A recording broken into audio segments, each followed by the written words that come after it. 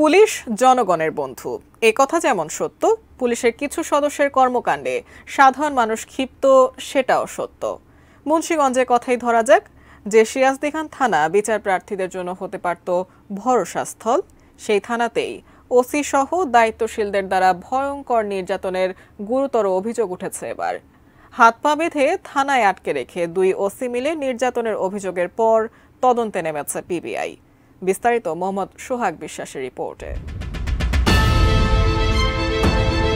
মুন্সীগঞ্জের সিরাজদি খান থানায় মুখে গামছা বেঁধে শূন্যে ঝুলিয়ে জনকে পিটিয়ে অজ্ঞান করার অভিযোগ উঠেছে। ওই অভিযোগে থানার ওসি সহ নয় পুলিশ সদস্যদের বিরুদ্ধে ইতোমধ্যে আদালতে মামলাও করা হয়েছে।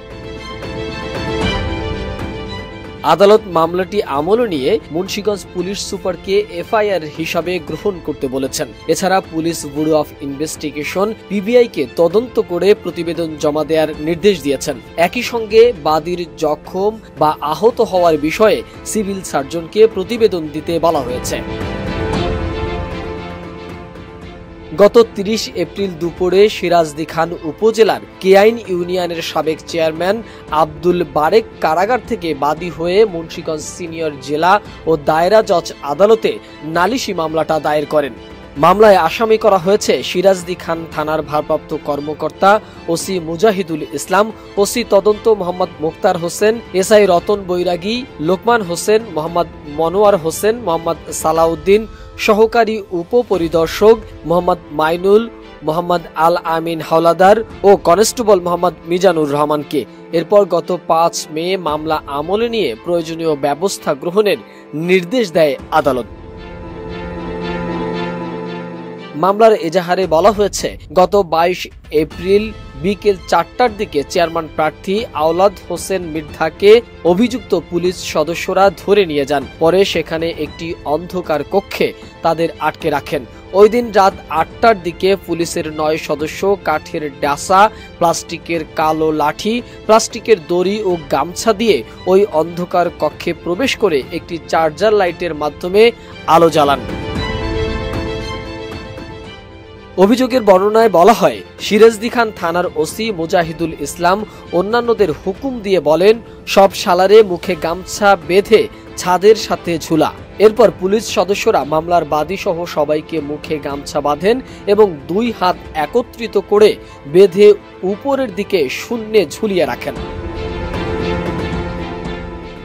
এ সময় সিরাজদি খান থানার ওসি মুজাহিদুল ইসলাম একটি কাঠের ডাসা দিয়ে আব্দুল বারেককে তালুতে মারতে থাকেন। অন্য পুলিশ সদস্যরা পায়ের তালুতে এবং কোমরের নিচে থেকে কনুই পর্যন্ত আঘাত করে সবাইকে অজ্ঞান করে ফেলেন। এ সময় মামলার বাদীরা অজ্ঞান হয়ে যায়। পরে জ্ঞান ফিরলে সবাইকে সিরাজদি খানের ইছাপুরা হাসপাতালে নিয়ে চিকিৎসা করানো হয়। রাত দুইটার দিকে আসামিরা এসে এই মামলার ভিকটিমদের বলেন, নির্যাতনের বিষয়ে কাউকে কিছু বললে তোদের রিমান্ডে এনে গরম ডিম ঢুকাবো এবং ইলেকট্রনিক শক দেব। অবশ্য সব অভিযোগই অস্বীকার করেছেন থানা পুলিশের ভারপ্রাপ্ত কর্মকর্তা ওসি মোহাম্মদ মুজাহিদুল ইসলাম। মুজাহিদ ভাই প্রথমত আপনাকে অভিনন্দন জানাই। আপনি তো হচ্ছেন ওখানকার শ্রেষ্ঠ ওসি নির্বাচিত হয়েছিলেন মনে হয় না? আচ্ছা। কিছুদিন আগেই। আপনি কিছুদিন আগে শ্রেষ্ঠ ওসি নির্বাচিত হয়েছেন কিন্তু আমরা এই কদিন আগে মানে সম্প্রতি একটা নিউজ দেখলাম ওখানকার একজন ব্যক্তিকে আপনি তুলে এনে মারধর করেছেন এবং তাকে বলেছেন শালাদেরকে বেঁধে ঝুলা। এরকম একটা বিষয়। এই বিষয়টা নিয়ে আসলে আপনার কিছু বলার আছে কিনা? বা এটা মিথ্যা কথাবার্তা আপনারা জানেন হয়তো বা বাইশ তারিখে একটা আমাদের ঘটনা ঘটে এখানে সাধারণ মাস্টারকে তারা বেদম মারধর করে জখম জখম করে ওইখানে আমরা পুলিশ টিম মিলে আমাদের সাথে পর্যায়ে আমাদের গায়ে হাত তোলে তারা। পরবর্তীতে আমরা আমাদের অতিরিক্ত পুলিশ ফোর্স দিয়ে তাদেরকে আমরা পিক করি। তাদের বিরুদ্ধে নিয়মিত মামলা রুজু করি। তাই পুলিশ মামলা হয় এবং সাধারণ বাদী একটা মামলা করে সাধারণের ভাই। কিন্তু আমরা তারা এখানে আসাম তারা হাত দিয়ে হাজতে আছে। আচ্ছা, সম্পূর্ণ দশ জনকে পিটিয়ে অজ্ঞান করার অভিযোগ আছে একটা। মিথ্যা কথা কথা আচ্ছা। এই ব্যাপারটা বোধহয় যে পিবিআই তদন্ত করছে নাকি? জি জি। থানায় আটক রেখে কাউকে নির্যাতন করা যায় কিনা এমন প্রশ্ন ছিল জেলা পুলিশ সুপার মোহাম্মদ আসলাম খানকে। তিনিও ওসির সাথে একই সুরে কথা বলেছেন।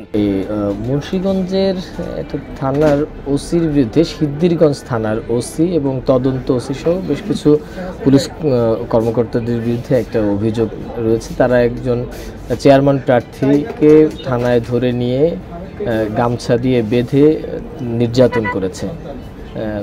এই বিষয়টা সম্পর্কে আপনি অবগত কিনা?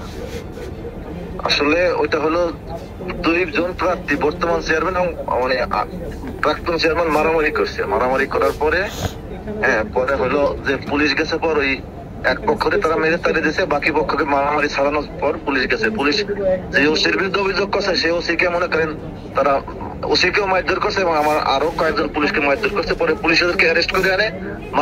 চালান দিছে। চালান দেওয়ার পর তারা ওই পক্ষ একটা মামলা করছে আমাদের একটা মামলা আছে। সেই সেই যে মামলার যে এক নম্বর আসামি সে হইল অভিযোগটা করছে। আচ্ছা কিন্তু থানার ভিতরে কি আসলে আসামিদেরকে এনে মারধর করা যায় কিনা? থানা থানার ভিতরে মারধর করে না এবং করা করা যায়ও না। এটা হলো যে এর পিছনে আরও কিছু কলকাঠি আছে এখন সবকিছু তো বলা যায় না। এটা মনে করেন একটা মানে দুই গ্রুপ তো এক গ্রুপের লোকজন হয়তো মানে ওই গ্রুপের লোকজন পালাই গেছিল ধরতে মানে দুই গ্রুপ ধরা পড়লে হয়তো এই জিনিসটা হইতো না। যেহেতু এক গ্রুপের লোক যারা ই করছে এবং পুলিশের উপর আক্রমণ করে তাদেরকে ধরে আনা হয়েছে এর জন্য। এবং তারা জেল হাজতে আছে এখনও। কিছু জামিন পাইছে কিছু এখনও জেলে আছে। পুলিশের এমন কর্মকাণ্ডে হতবাক এলাকার মানুষও। মোহাম্মদ সোহাগ বিশ্বাস এটিএন নিউজ